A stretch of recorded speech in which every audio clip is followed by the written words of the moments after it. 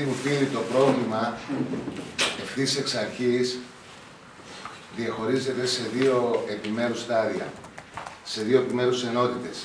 Η μία ήταν και είναι και εξακολουθεί και υφίσταται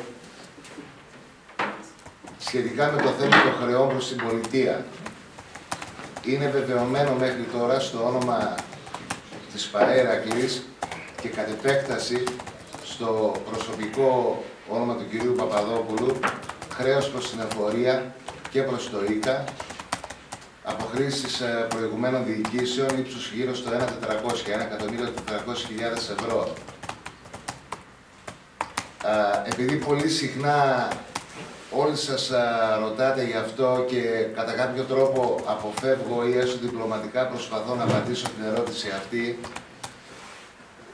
θα ήθελα να σας το πω τώρα ότι με την ανοχή της πολιτείας, με την ανοχή της κυβέρνησης συνεχίζουμε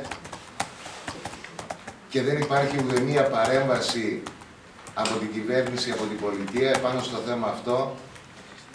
Παρ' όλα αυτά παραμένει μετέωρο. Μέχρι το τέλος Μαρτίου α, στη Βουλή θα έχει εγκριθεί το καινούργιο νομοσχέδιο που θα προβλέπει α, ρύθμιση χρεών προς το δημόσιο, όπου υπαγόμαστε και εμείς, με κάποια περιορισμένα και αυστηρά κριτήρια, τα οποία τα πληρεί η δική μας ΠΑΕ και προφανώς η ένταξή μας θα ξεκινήσει από την 1 Αυγούστου του 2019 και μετά.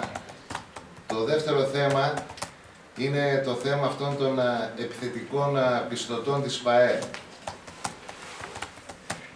Σήμερα είναι Παρασκευή. Την Τετάρτη το πρωί είχαμε σύσκεψη στα γραφεία της Μίκρας, όπου ξεκινήσαμε δειλά-δειλά και αν θέλετε σας το δικαιολογώ και μετά τον όρο δειλά-δειλά, τη σύνδεξη του φακέλου αδειοδότησης.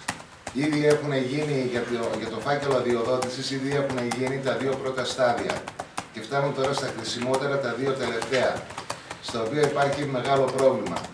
Την ώρα που συνεδριάζαμε γι' αυτό περί της 11ης Μεσημβρινής, ήρθε ένας κούριερ και μας έφερε καινούργιες απαιτήσεις 17 άλλων ατόμων που ήταν σύνολο 72.000 ευρώ. Τα 17 αυτά άτομα αξιώνανε απαιτήσεις από το 2015 μέχρι το 2017. Πάρα πολλά ονόματα προσπαθούσαμε να μάθουμε ποιοι ήταν. Ήταν κάποιοι διοικητικοί, εξοδιοικητικοί, κάποιοι γυμναστές, κάποιοι φύσιο. Και από τα 17 ονόματα, τα 5 κανένας δεν ήξερε ποιοι ήταν αυτοί. Όπω όπως καταλαβαίνετε, αυτή η λέλαπα συνεχίζεται ακόμα μέχρι σήμερα. Η συγκεκριμένη τροπολογία που θα μπορούσε να προστατεύσει η οδήποτε ΠΑΕ και κατ' επέκταση και τη δικιά μας την ΠΑΕ, μέχρι στιγμής το ιστορικό της είναι ως εξής. Μέχρι στιγμής έχει κατατεθεί δύο φορές στην Βουλή των Ελλήνων. Η πρώτη φορά ήταν την τρίτη εβδομάδα του Νοεμβρίου, όπου ενώ εισήχθη στην Επιτροπή Μορφωτικών Υποθέσεων της Βουλής, υπήρξαν τουλάχιστον δύο-τρία σημεία ως προς το ύφος του περιεχομένου της συγκεκριμένης διάταξης που είχαμε αναπτύξει μέσα και απορρίφθηκε. Η δεύτερη φορά είναι την προηγούμενη εβδομάδα.